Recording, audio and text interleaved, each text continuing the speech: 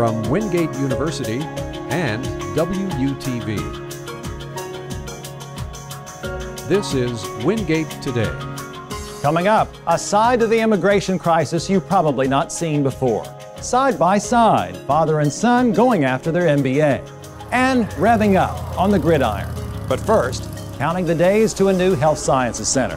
Hello and welcome to Wingate Today. I'm Jeff Atkinson. Wingate's new campus in Western North Carolina is coming off the drawing board and coming out of the ground.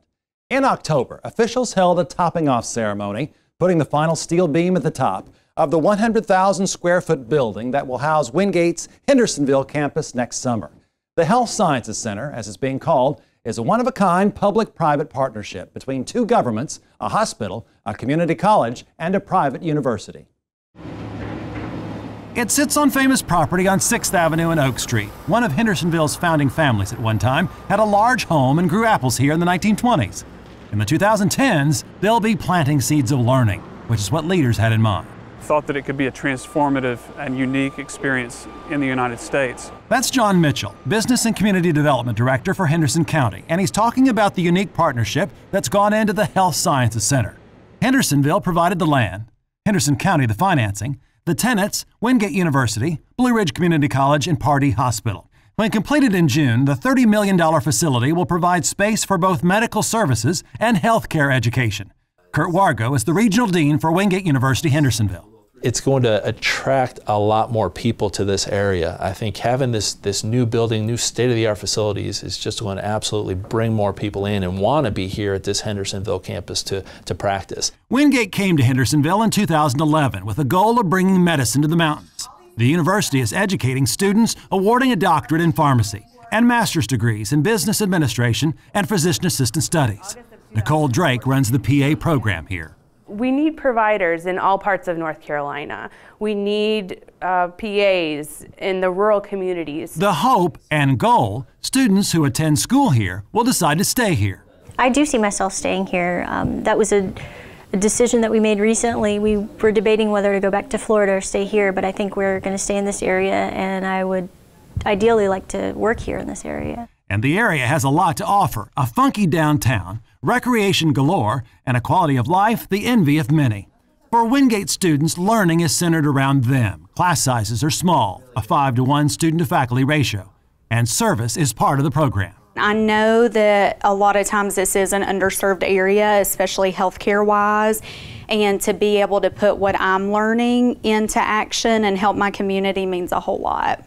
Wingate's outgrown the space it's in now, which was the impetus for a new building. The university signed a 20 year lease with Henderson County and hopes to bring more healthcare programs here. It brings Hendersonville into a, a university town, and that's what, what, I think the vision of this uh, partnership is.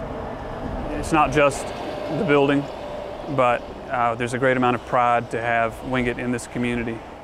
The new Health Sciences Center in Hendersonville is on a fast track. Completion date next summer. Classes are expected to begin in August. Some special needs adults had a great week at a residential camp in the mountains thanks to volunteers from the Hendersonville campus. There they are. As 63 disabled adults arrived at Camp Blue Skies, their family members gave the camp staff all the medications the adult campers would need for the week. Wingate pharmacy students and professors repackaged the meds to make it easier for the camp nurses to administer the medications each day. Camp Blue Skies' health director called the Wingate students amazing and said the camp's partnership with the university is a real treasure. After the floods in South Carolina in October, some residents were flooded with generosity from here. A dozen Wingate students spent a Saturday in Sumter, South Carolina, working with the United Ministries of Sumter. They unloaded trucks filled with donated supplies, packaged canned goods and other items to be given to flood victims, and helped haul away flood damaged furniture. The effort was organized by the student group UCAN. Graduate students in the Doctor of Physical Therapy program raised money for a PT student at the University of South Carolina in Columbia who lost nearly everything in the flood. Wingate DPT students contributed several hundred dollars to help a student they'd never met. Now, the inspirational story of a Wingate teenager whose lifelong dream is to become a doctor. She's on her way now. Ryan Brown joins us. Ryan, this is an incredible story. Jeff Reagan Thomas got the surprise of a lifetime at halftime of a home football game. It was thanks in part to the Make a Wish program, which grants wishes to children diagnosed with a life threatening medical condition. But as you're about to see, when Wingate gets involved, granting wishes means something extra. Since she was five, life for Reagan Thomas has looked a lot like this hospital stays, shots, and surgeries. Reagan suffers from chronic hereditary pancreatitis. The disease runs in my family. So my dad had it, grandpa had it all the way back. And but we would get like breaks from our attacks, but she never did. She's just constantly in pain. I mean, it changed she had this cute little personality all outgoing, but it changed everything about her living in pain like that. In February, Reagan's condition became critical. She was life flighted to a hospital in Minnesota where doctors removed her pancreas and two other organs. The risky surgery, performed only on about 600 other people, has finally allowed Reagan to find some relief. I just kept hope that one day we would find something that would help. While in the hospital, Reagan saw the positive impact the Make a Wish Foundation has on sick kids. It's a wonderful organization that they make kids who have gone through so much so happy. Little did Reagan know she was about to share in that same happiness. Reagan making its way onto the field. Her wish of a Caribbean cruise was granted.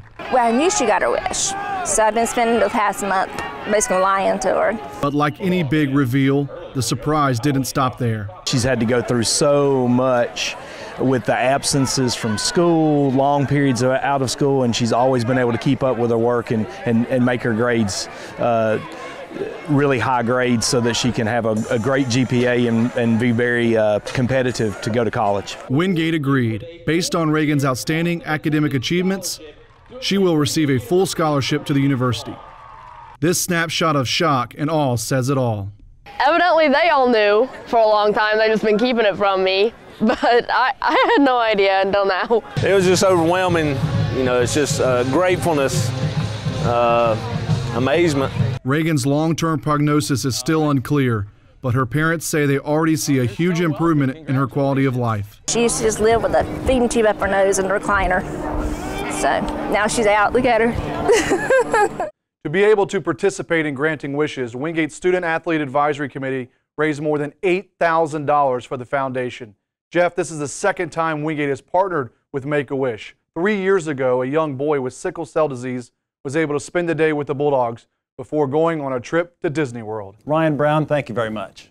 Homecoming 2015 had the usual fun and festivities. The Saturday in October started at the Irwin Belk track with the School of Sports Sciences Homecoming 5K and One Mile Fun Walk. Alumni awards were given out at the annual alumni breakfast. Fans gathered for tailgating, and at halftime, the homecoming court was announced. Pictured with President Rhett Brown are the homecoming king and queen from this year and last. The jam packed weekend did include a couple of out of the norm events on Friday night.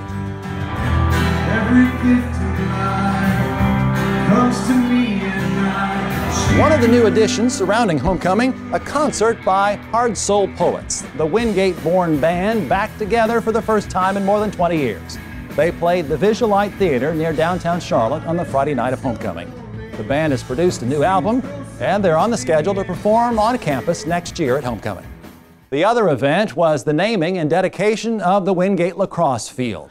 The turf field next door to the football stadium opened two years ago. The dedication came during halftime of a match between current lacrosse players and alums. The field is named in honor of Graham Gill, a former lacrosse player who died in his sleep in 2010 at the age of 25. Graham got it right. We were good for him, but I think he was even better for us. When we say one dog, Graham's enthusiastic and supportive spirit is one we invoke.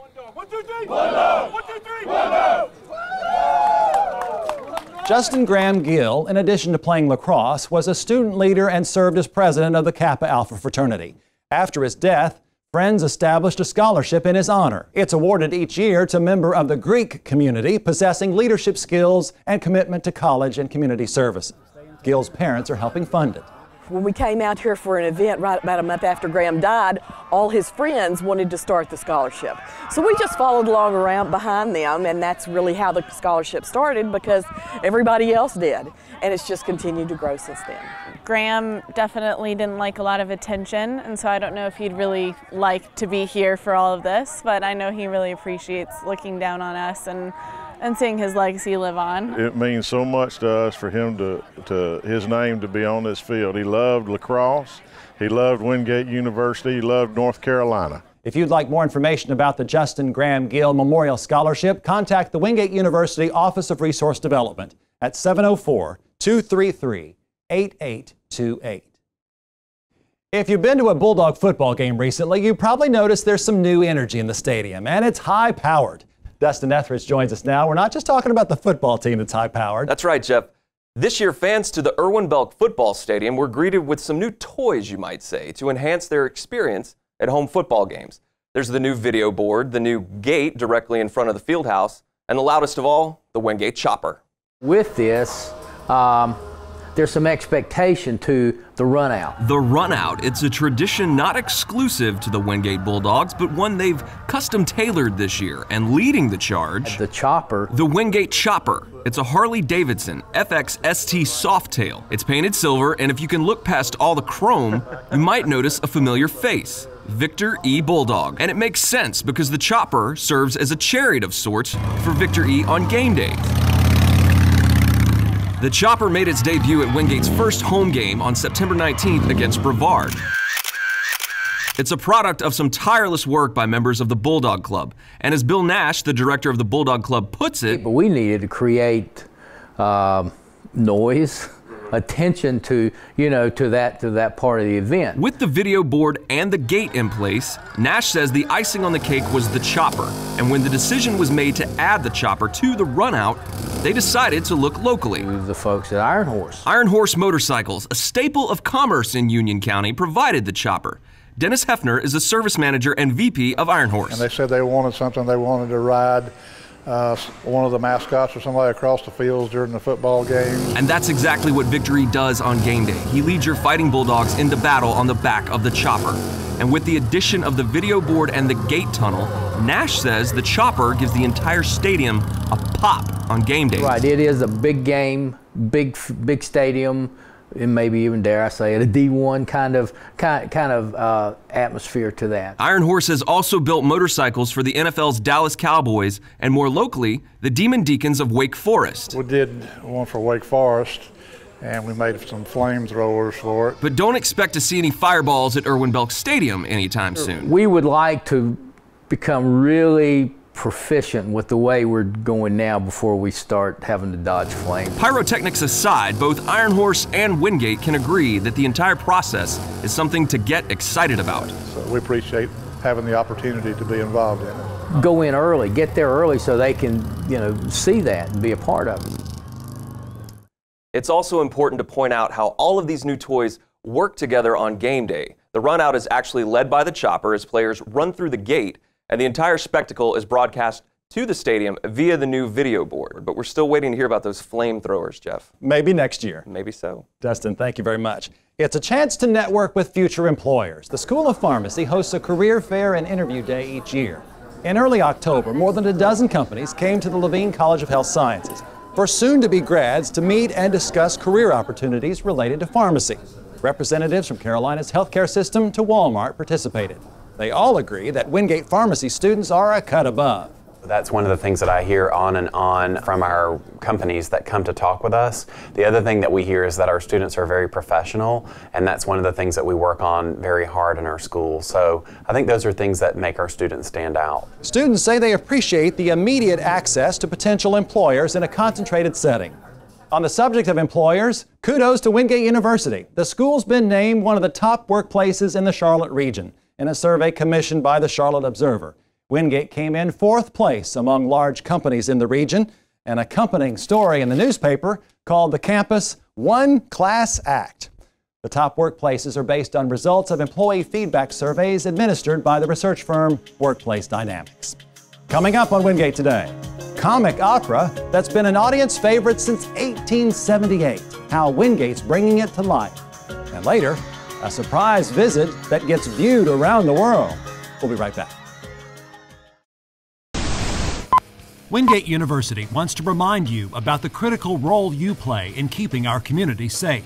Remember the following always keep your doors and windows secured at all times. This includes ensuring your deadbolts are locked When walking on campus, especially at night, stay in pairs and groups. If you're going to be walking alone or returning to campus late, call campus safety for an escort. Report suspicious or inappropriate persons immediately, especially if you don't believe they're a member of the Wingate University community. Call campus safety at 704 233 8999 or call 911. Remember, keeping our campus safe requires work from all of us watching out for each other.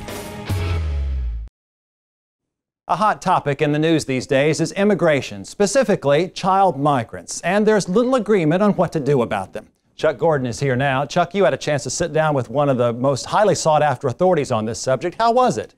Jeff, Wingate University recently hosted former LA Times reporter Sonia Nazario. She actually rode the rails with some of these child migrants, the length of Mexico. Her journey turned her from a journalist into an activist. When Mexico sends its people. Donald Trump would tell you that migrants are coming to the United States for the worst possible reasons and that we need to build a wall to keep them out. A series of events on the Wingate University campus is challenging that view. Sonia Nazario was on campus in October to discuss immigration and her book, Enrique's Journey. When Enrique came more than a decade ago, he was largely motivated by wanting to reunify and be with his mother again. The Pulitzer Prize winning book follows Enrique from Honduras to North Carolina. During the journey, Enrique traveled through some of the most dangerous parts of Mexico, riding atop freight trains and dodging police, bandits, and immigration officials. He made eight attempts before he finally crossed the border. Nazario made the journey herself about a dozen years ago. Now she speaks at universities and other institutions, hoping to put a human face on the crisis. Students email me every day and say I was raised racist, anti immigrant, to hate all migrants. Uh, I was forced to read your book, and this has changed my perception. Freshman Maddie Pope won first place in an essay contest at Wingate University after reading the book. She said her views used to align more with Trump's seeing it as my country, you know, and then just over the past couple years, and especially as I've read the book and looked more into the issue of immigration and realized kind of the humanity of it. That would hearten Stephanie Slaughter. Slaughter was a field producer on Which Way Home, an Emmy winning film that tracks young Latinos trying to reach the United States through Mexico. Their tale is as heartbreaking as Enrique's. You see it at one point in the film when the kids are like, Yeah, yeah, yeah, we know it's dangerous. Yeah, yeah, yeah, we know this can happen. Um, but they're determined to, to travel north. She brought her film to Wingate last month. But both Enrique's Journey and Which Way Home came out before 2010, and things have changed. According to Nazario, these are no longer economic migrants. A lot of these children face one choice when the gangs and narcos approach them join or we'll kill you. Early last month, Nazario wrote in the New York Times that the flood of unaccompanied minors entering the U.S. were refugees, not immigrants. It's one person said, when the house is burning, you're going to find a way to get out. They're squeezed in the middle, fleeing drug related gang violence at home and facing a crackdown at the Mexican border. And yet they keep coming by the thousands, trying over and over until they get to the U.S. Maybe it's that youth that allows them to not feel the fear that the adults had. The problem is vexing. Nazario says the only way to fix it is to change the economic situation in Central America. No wall is going to stop a child who has not seen their mother in 10 years and is fleeing someone who's trying to kill them. All first year students at Wingate were assigned to read Enrique's Journey. The book has jump started a discussion on campus about the immigration crisis. There was the film, author talk, and lunch and learn. Other events are planned, Jeff, and the discussion is likely to continue. Chuck, you can see Sonia Nazario's lecture in its entirety on Wingate Presents weeknights at 9:30 here on WUTV Channel 22. A daughter's love for her parents and their love for Wingate University. In mid-September, the school dedicated a prayer labyrinth just outside Austin Auditorium. It was donated by Blythe Taylor, former success coach at Wingate, in honor of her parents, Chuck and Carol Taylor. Chuck served as an executive VP and CFO at Wingate in the 2000s, a time of great growth at the institution. I wanted there to be a mark of the Taylors here, you know, and um, because they'd been so integral to the faith and intellectual community here. The labyrinth is a pathway of stones leading to a central point and back out again. Labyrinths are said to have been used for over 3,000 years. Carol Taylor hopes this one will be used by students to find some clarity during a busy time in their lives. That they'll be able to step away from the everyday cares and worries and anxieties and just really, as Chuck says, get in touch with their hearts and get in touch with God. Chuck Taylor said, by design, prayer labyrinths promote inward reflection and prayer because as you step, you must look down with your head bowed toward your heart. Wingate hosted more than 150 people from Charlotte's arts and business community at the Duke Mansion in Charlotte's Myers Park community as part of President Brown's series of meet and greets. One of the highlights of the evening, music professor David Brooks performed on the legendary Horowitz Steinway, a nine foot grand piano that belonged to the late great Vladimir Horowitz. Steinway says it's the most traveled piano in the world. A new art gallery opened to the public, the Hinson Art Museum, next door to the Batte Center. It features famed artist Ben Long's latest fresco, True Art is to Conceal Art, painted on a freestanding 10 by 7 foot wall. A dedication was held in late September. Donations from three local families helped pay for the fresco and museum. Ron Hinson of Hinson Electric and his wife named the museum in honor of their son Eric, who's taught art in the public schools for years.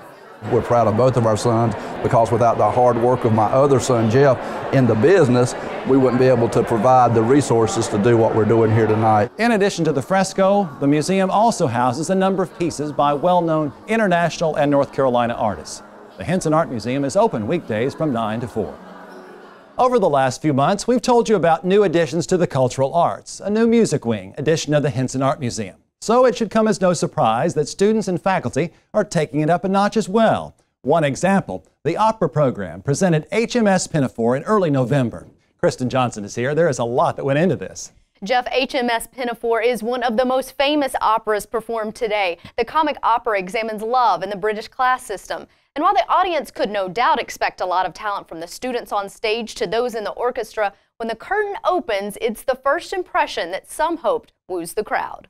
For about the next three hours, the folks filling these seats will watch what happens when a vision transforms from creative minds to center stage. Most people on this campus probably don't know what goes into this. Um, and that's the that's part of the magic. To make magic, well, that began months ago. The HMS Pinafore was selected as the latest Wingate opera by director Jesse Wright Martin around springtime. Talks about how to turn a stage into a ship started shortly after. Starting off building the black part of the model, uh, so I could really see what the set was going to look like inside that box was the first step. And that took a little bit of time, but then after I started putting the pieces together for the scenery, the um, it really started to take a, a much bigger form. And when the form came into place, then the vision got solidified a little bit more. And when the vision got solidified a little bit more, then some of the other design elements, like what color things were going to be and what kind of props were going to go along with it and where the doors were going to be, how the stairs were going to work, all of that stuff really kind of started to flow. Said designer Jason Stewart estimates it took around 400 hours for construction. And then, of course, there are the details that grace the decks, giving the ship that added authenticity. Every year the set has got more and more incredible and the costumes have got better and the acting has gotten better and so has the music. Muffy Underwood should know, the senior who started out in community theater has now had starring roles in several of Wingate's opera productions. I definitely see the program getting stronger and stronger with us starting to do more dramatic and heavy operas as the program gets larger and as the students start to get more and more talented each year, which they certainly have. And I think eventually we'll start doing Mozart, which will be phenomenal to do, and I'll, I can not wait to come back in a couple years and see that. This marks the ninth opera for Martin, and she too shares in the vision of seeing each production get bigger and better through brainstorming and teamwork. As the number of students, the, the um, vocal ability grows, then we may. We may be able to move to things like Mozart, like Muffy was talking about. That is my hope. The music department is rocketing like crazy. Um, it's so much bigger, there's so much excitement, and the, and the opera is just one part of that. After the performance was over, the set was torn down and work began on the next production. The next opera is set for February, but folks won't have to wait that long until the next musical performance. A wind ensemble concert is set for November 30th. Jeff? Thanks, Kristen. Charlotte's Ballantyne community celebrated fall with the annual chili cook-off. Representatives from Wingate University Ballantyne were there to defend their second place title from last year. The event went off without a hitch despite all the rain we had in October. They served up chili for the young and old. And though they didn't place in this year's chili competition, they're not discouraged. The goal is to be out in the community visible. Our professor, our staff, we're all here um, helping and uh, it really is a cohesive group, which is also, of course, our campus is a very intimate, great learning campus of support. Uh, so I think it's important for our students and faculty to see that we're out here and participating in the community. The Chili Festival started five years ago and has grown into an all-day festival. They're both named Kenneth Long. Both work at the same company and both live in the same town. And as Sharon Foote explains, they both have something else in common. There should be at 11:30. There should be some lunch traffic. The dad is Kenneth Long Jr. The son is Kenneth Long III. The son goes by Kent. When Kent was little, his dad coached his soccer team. Now the son is coaching the dad, in a way. He's my tutor. I'm a little bit stronger maybe at the math portions because um, I had that in school. But um, so if he has some questions, he'll ask me. But he does pretty well. Ken Long and Kent Long are earning Master of Business Administration degrees from Wingate University. During the day, they both work for Duke Energy in separate buildings in uptown Charlotte. After work, they often drive together to Wingate's campus in Ballantyne and usually sit side by side during MBA classes. A peek at the family photo album shows this father and son often side by side. Kent's early childhood, teenage years, hiking together, hanging out together.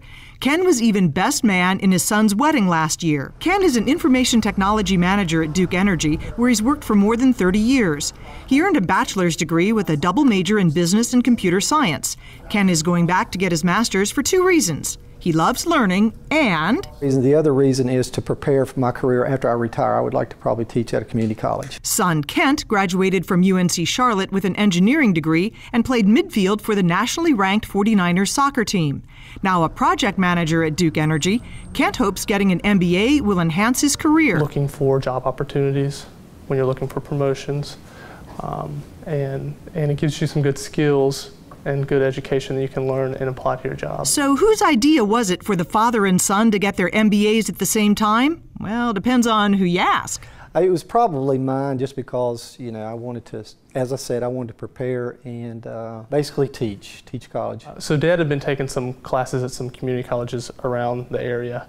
And after about four or five, I said, Dad, you know, um, if you were to put this towards a grad degree, you could already be halfway done by now. They agree that Dad chose the MBA program at Wingate, started taking classes, and recommended Wingate MBA to his son, who started a semester later. So, are they competitive in class? Uh, n- no.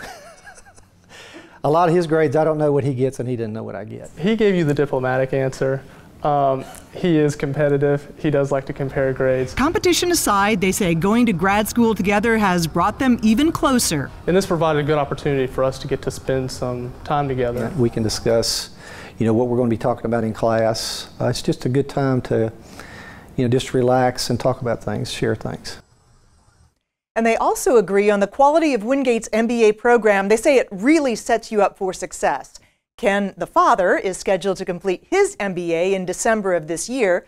Kent, the son, will finish in May of 2016. Jeff? Thanks, Sharon. Well, you talk about family. Sigma Sigma Sigma sorority was having its bid day celebration on campus when the unexpected happened.